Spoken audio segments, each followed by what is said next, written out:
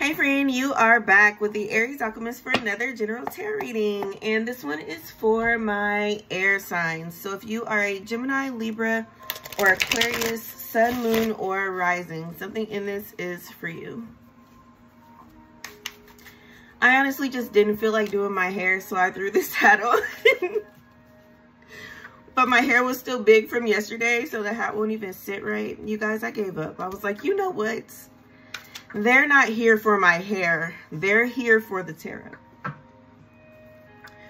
But so first you have the Ten of Cups in reverse, the Tower in reverse, the Eight of Wands, Judgment in reverse, and the Five of Wands. I'm going to clarify these, and then we'll get into what they mean.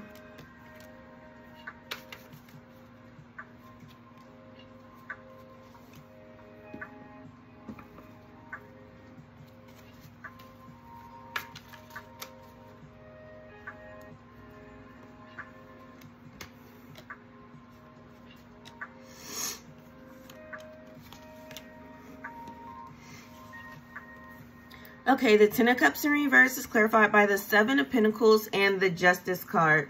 So this has something to do with just the group of people that you're around. You maybe felt like at some time things were going unfair, like you were pulling more weight in the situation than other people were, but Spirit is saying that's going to even out.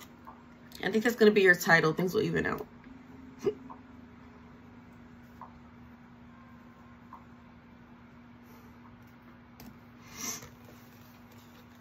Sorry, my allergies, man.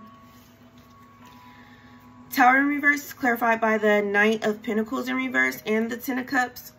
Now, even though things were going a little bit weird, for lack of a better way to put it, at first, Spirit is saying that they're helping you make sure that this situation is okay. So what's most important is you literally just managing your anxiety about the situation.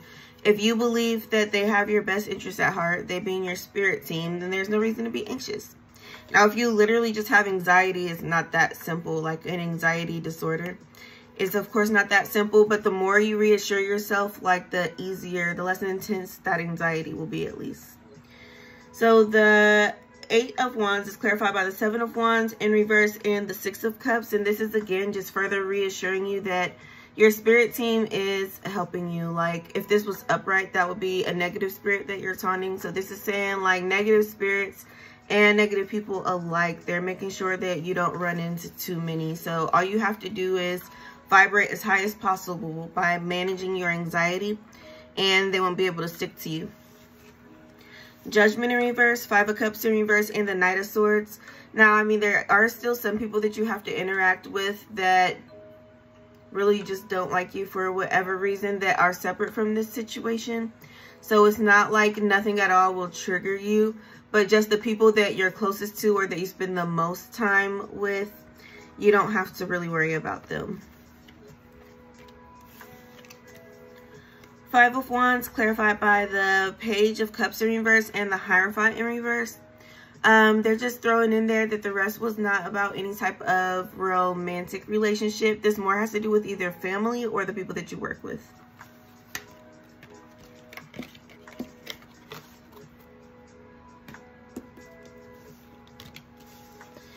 I will get your word of the week and then we'll get out of here.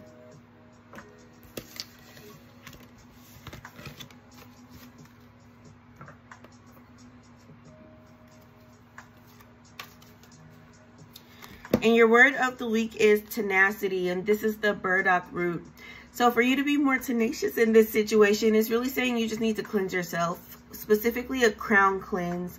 So you could do like a white bath. You can just Google it, honestly, and whatever recipe sticks out to you the most, that's just going to be the best one for you. Or you can just sleep with amethyst and lavender. But that's what I have for you guys. If anything resonated, like, comment, share, subscribe to the channel, of course. And if you would like a personal reading, you can book one through the link in my description box. All right, y'all. Peace.